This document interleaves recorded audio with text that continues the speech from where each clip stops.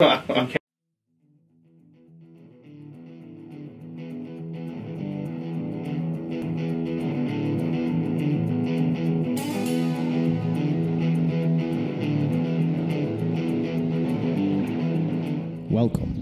to RŌL Radio.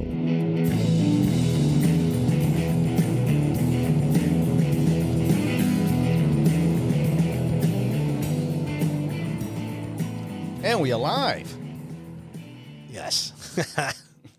You weren't looking up. I was mimicking you. Oh. And we're live. Is that what I look like? uh, from my point of view, sure. you need glasses. I do need glasses. Absolutely. I'm looking at my screen. I'm like, if it's not, if the font's not 32 or higher, I can't see it anymore. 32, that's not bad for 70 year old. 70 year old? Well, unfortunately, I'm not 70 yet. It's funny though. Somebody told me the other day um, I'm middle aged, and I was like, no, I'm past it. And they said, uh, Wait, wait, wait. What's middle age? right, exactly. I'm, if I live to be 100, then right now I'm middle aged. I don't think I'm going to make it to 100. My family doesn't have a very high, uh, we don't live very long on uh, on either side. Well, stick But- around for at least one more year. We kind of Okay. we kind of like you on this podcast. Do you? Do you? Until you find a replacement, which probably won't be too hard. Well, and this is the moment when Well- we officially announce opening at the RŌL Radio. Sure. Here's the thing. The reason I stick around with this is because I'm the only person that can put up with you this much. There's nobody. That is Nobody. probably true. There is some truth to that statement. My OCD kind of turns people away, maybe a little bit. Yes, a little bit. A a little, little bit. bit.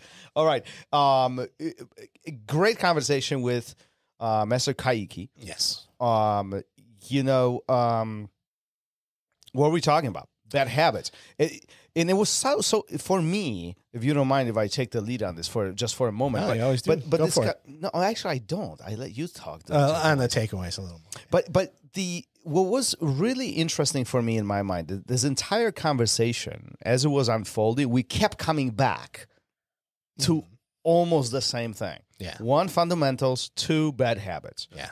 It was like those two no matter where we took the conversation, it kept bleeding back to those two points in some variety or some shape or form. Yeah. What what what, what do you think? Um, I think that those are two really important things, not only in life but in jujitsu. And um, you know, we talked. I talked briefly about it in the episode. Um, this past weekend, there was a UFC fight, and somebody didn't do the fundamentals, and it's somebody that um, made their name not doing the fundamentals, and they uh, they lost uh, quickly. And um, and then as far as bad habits go, you know, I the word I struggle the most in jujitsu because of the bad habits I've developed and trying to get out of them. Uh, really developed some ser- some pretty bad ones in the beginning, um, you know, and I, I really had an emphasis on um, like open mat rather than uh, really learning the fundamentals, getting those down. And now I see the error in my ways and just how important the fundamentals are and how much, um, you know, he talked a lot about surviving. You might not win, but you're going to survive. And, and that's kind of the way I look at things. Um, I would much rather, uh, at this point, be known, I think, as a survivor on the mat. Like, man, that dude, you can't pass this guard. I'm not saying I'm there, and this is this is just what I would hope people would say someday. Is yeah, you know, you're not going to pass that dude's guard, or he's a great guard passer. Uh, more so than watch out for, you know, some ridiculous, you know, move. Uh, I would rather be known for the movements. Does that make sense? Mm-hmm. And uh, yeah, about, right? exactly. That's where I, I didn't just make that up. And uh, smart. well, I steal a lot. Um, that's one of my good habits. But so you know, breaking those. What what happens when you break bad habits in jujitsu? Well, you so- learn the fundamentals. You so- start focusing on them, right? Before we get there, so I just looked up habit. What does that mean by definition, right? So it's it's a regular tendency or practice Mm-hmm. That is emphasizing that it's difficult to break and is emphasizing your your reoccurring action, right? So it's like think some would call this a uh, muscle memory, or some would call this you know execution of your process, or you know um, you know don't think do things of you know there's many variety of you know how people frame this, but it's essentially something that is being stored deeper in the side of your brain where you don't process the information, you just execute. Yeah. Often they think about skipping steps or just executing without analyzing, right? So all, Or um, people think that they're going to be able to execute outside of class when they're not executing in class. I talk to the kids about this a lot. You know, we just did a, a week or two ago. Um, we were talking about you know a simple technique of being pushed down and standing up in base. While you know, guys, your your break fall is sloppy, and I know it's sloppy because you're not really being pushed full force. But if you develop that bad habit of break falling and letting your head lightly bounce off the mat, well, when you're in the playground or in you're in the school parking lot and you let your head lightly bounce off the concrete or the asphalt, well, guess what? You're not going to stand up in base because it's over. It's it's already over. Mhm. And they look at me like they're you know they're deer in headlights. They're scared, and it's like I don't I don't want you to be scared. I want us all to now stand up and do 20 break falls and nobody's head is going to hit the mat or we're all going to do push-ups and i'm doing them with you let's do this and uh, to to get them out of those bad habits so that it becomes muscle memory to tuck their chin rather than lightly bounce their head off the mat This this is one of the main reasons why I love our street program here at RŌL Academy. And I'm not trying to promote the academy, but it, it, it is something new that we introduced recently in the recent past. But it's essentially a, a pivot of, of jiu-jitsu where we talk about some of these street situations and is more more of a street aware like um, where you could get hit, you could get punched, you could get kicked, and how do we how jiu-jitsu is applicable in those situations. And you know kind of on that hat on that on that topic the feedback very often is is like damn i didn't think that would hit me. I like i i, I was not aware of that because those strikes are not coming in the Yeah. sport you know I, like the rules of engagement are so different mm-hmm. right? And and let's be honest one or two of those hits especially in the face you know Yeah. i always often say you know come up with a creative story because somebody will ask you what happened to your eye right? But it, it- it's not to create a violent or, or kind of you know dramatic situation here but raise the awareness of what might or might not happen in some of these in some of these um situations. Yeah, and it's um it's fun. I just all I could think of is when I'm your uke and you're doing a, a technique where there's a possibility of striking. I know to protect myself. You're gonna get hit if you're working with Thomas. i would never hit you Um, but well don't say never right, Uh, how do you think bad habits are created? Because uh, you know, from the source, that's kind of where you know where we should identify, right? We all trying to avoid bad habits, whether on or off the mat, right? I don't want to have Doritos, but yeah, somehow, somehow I end up in this cabinet every single evening. You know, I- you know, it, it- and there's many ways how we look at this, but how do we develop the habit? well, it depends. I, I think we need to put it in the context if we're talking about outside of jujitsu or or on the mat. But um, a lot of it boils down to maybe laziness. Uh, a lot of it can boil down to, um, you know, we're talking about the fundamentals again. I don't, I don't need to really know how to break fall because, um, you know, I'm always a- aggressive and I'm always in mount. I'm, a, you know, well, guess what? You're going to get taken down. And if you don't know how to break fall, you're in trouble, you know, especially if it's outside the academy. Um, so I think people just don't on the mat. I think people are looking to prog- progress too quickly. They don't realize that by skipping the fundamentals or giving them the the importance that they have, um, that they're they're creating bad habits. Uh, and then outside the academy, I think it could be anything from lazy to, um, you know, putting yourself, you put yourself in the situation where the habit is easy for you. And it's hard to, it's But why, hard- why do we choose the bad habit versus the good habit? a lot of times it's more fun. A lot of times it's easier. a lot of times it tastes better. A lot of times it's hanging out with your friends rather than doing the work that's still going to be waiting for you later.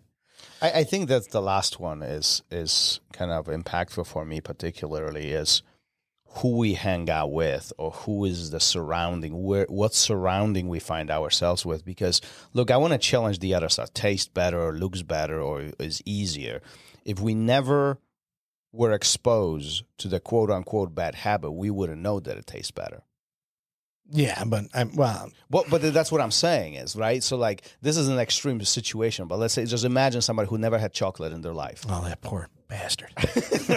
exactly proves my point. right? But they never had chocolate in their life. And then you give them the chocolate. I bet you that chocolate is not going to taste quote unquote good with the way how it tastes to you because they've never tasted that in their life, right? So if you look at that, you know, from a jiu-jitsu perspective, you know, somebody who's never made the steps that you've made and now you show them the incorrect way, they're like, "What are you doing? Why why are you doing this? This is this is not how it should be done. Am I am I off on this? No, I know what you're saying. I just think that, um, yes, you know, I think our brain, our brain is very tricky, and it fools it fools us into thinking wrong is right. right, Very, very often, right, um, because the right way can be difficult. Mm-hmm. Um, the right way can not taste as good.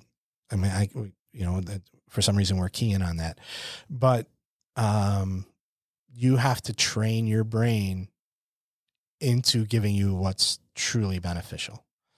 Does that make sense? And well, and that would go to understanding what's what's the purpose, what's the benefit, how what do we really want, right? Right. So, like in the context of of jujitsu, is if we trying to improve a situation but continue making the same steps, we'll never improve. sure, Understanding what the purpose is behind right. What's what is your purpose in jujitsu? I mean, a lot of people have different goals, um, and not to say one is right or one is wrong, but if you're if you're if your goal is if you're going for it on a clear path and a clear understanding of what you're going for and why, well, then you probably won't develop too many bad habits because you'll realize you can't have them in order to get to your goal. Let's talk about that example, for example, that Master Caique brought up on the on the episode during the conversation, right?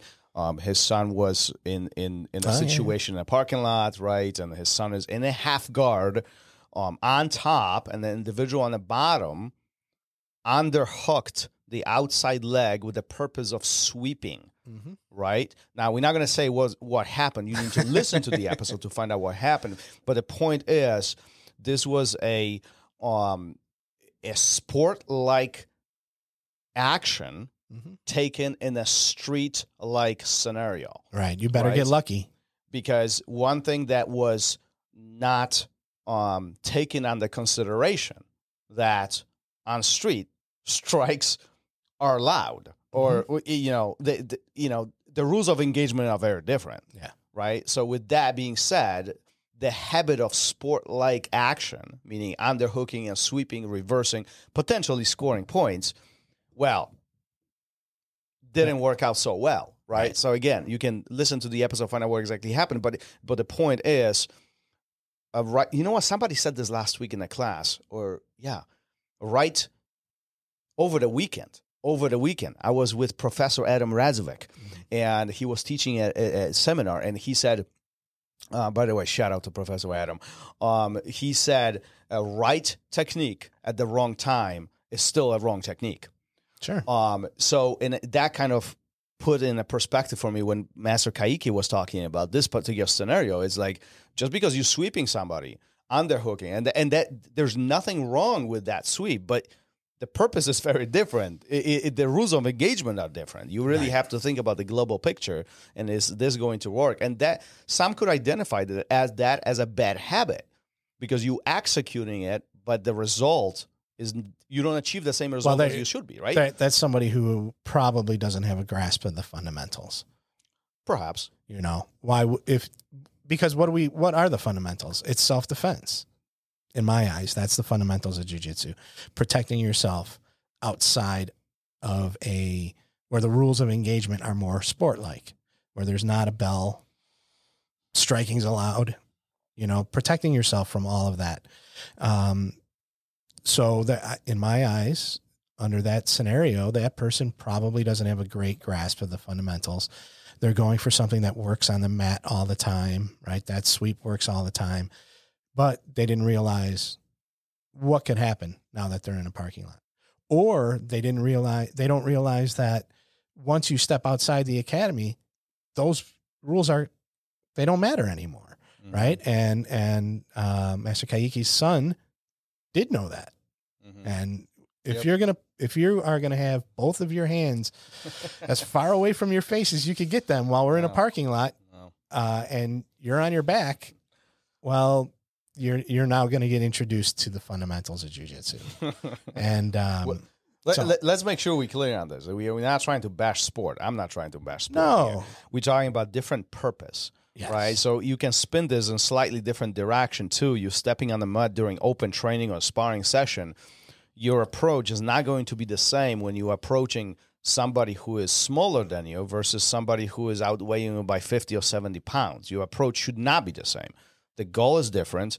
The rules of engagement will be different. There's a clear uh, weight difference and perhaps strength difference Mhm. Right? And perhaps speed difference, right? So the rules of engagements have changed.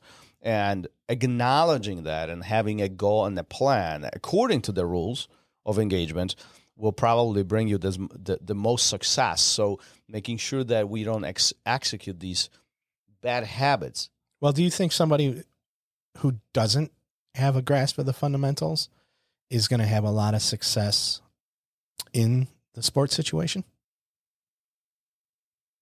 I think there is that possibility because rules of rules of engagement are different. Here's what I'm. Here's how I would frame this: somebody who doesn't have fundamentals, they could still be successful in sport aspect of jiu-jitsu. However, if somebody does have phenomenal level of fundamentals, they will have more success than a person who doesn't in a Mhm. sports scenario. Do you see what I'm saying? Yeah. because the rules of engagement are different. You can eh, part of part of the sport jiu-jitsu is the fact that it's heavily point oriented. It's pe- heavily position oriented. Right? There is a goal of achieving certain positions and scoring points and ultimately perhaps submitting your partner and ending it earlier. Right? So by knowing the fundamentals and, and by fundamentals we are referring to self-defense particularly your escapes weight management, your weight distribution, balance management, all those things will be emphasized and it will give you more success. But it does not mean that you cannot berimbolo or flying triangle and finish the fight. You still can. Yeah, just- you can get caught, right? If even if you have really solid fundamentals, you could get caught. Oh, you were talking about the opposite direction. Well, both directions. So I think if you have a solid grasp of the fundamentals and all that newer, Mhm. fancier, if you want to call it that stuff, all the stuff that's more ingrained in, in sport, you're probably going to have a, a higher success rate because you're Oh, mi- you're missing something if you don't. I agree. right? Yeah. Yeah. I mean, f- again, kind of, I don't want to repeat myself, but it's like if you, if you do have fundamentals, deeper understanding of fundamentals of self defense and jiu-jitsu, it will bring you very likely more success Mhm. when you convert to the sports scenario. However, if you don't, it doesn't mean that you will not succeed in sport.